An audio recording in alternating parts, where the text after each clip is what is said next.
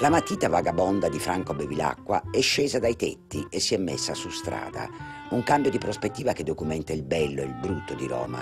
Dai due metri in su si respira l'aria magica di una città composta di guglie e cupole, di terrazze e campanili. Osservata sotto i due metri si riscopre il suo meticciato documentare la bellezza di Roma che convive con la sua bruttezza, con il suo abbandono, con il suo senso di vivere alla giornata senza senza un, un criterio, da due, da due, o da tre metri in giù è dominata dalle macchine parcheggiate nei posti più impensati. Roma dal basso, con i piedi per terra, è un palcoscenico d'arte disdegnato dai suoi frettolosi frequentatori.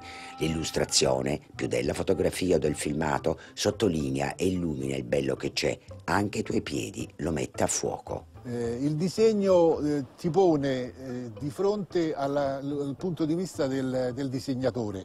Non è mai la realtà così come la fotografia riproduce, ma è una rinterpretazione di quello che si vede. È un libro di storia dell'arte aperto, basta girare per le strade di Roma e si incontra di tutto, dai primordi dell'arte addirittura dal Neolitico fino ai giorni nostri. Ci sono tutti gli esempi dell'architettura, della pittura, e basta entrare in una chiesa, si incontra come fosse un vecchio amico Caravaggio, Raffaello, Pinturicchio. Sorniona è scanzonata, la città che Bevilacqua ama, lo spirito dell'illustratore catturato da un particolare, da un angolo anonimo, da una piazza nascosta, da un'ombra, oppure da un colore, schizzi quasi istantanei di una Roma che c'è e non c'è più, che si scherma e si confonde. E solo l'illustrazione riesce a recuperare, facendo balenare la potenza del bello, documenti illustrati, bozzetti della città culla del bello. Io mi sono rimedesimato nei viaggiatori dell'Ottocento, del Settecento che scoprivano Roma venendo dal nord, arrivando dalla Flaminia e rimanevano folgorati dalla bellezza eh, de, de, di Roma, del barocco e delle chiese. Le chiese dominano il, panorama di Roma.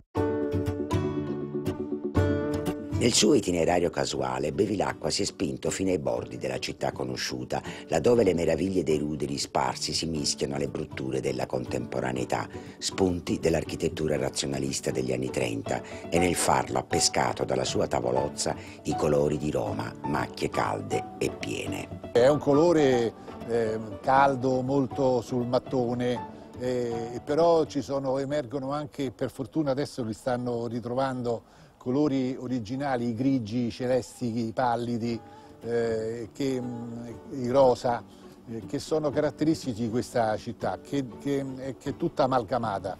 Eh, non, è, non, è, sicuramente una città uniforme, è una città che ha un suo colore ma molto vario e la caratteristica principale è che è un colore caldo, è affettuosa, è, e ti abbraccia con la, sua, con la sua bellezza e il suo colore. Prossima tappa della matita vagabonda di Franco Bevilacqua, una sosta casuale in periferia, nelle periferie romane, per trovare un segno di rammendo e di ricucitura.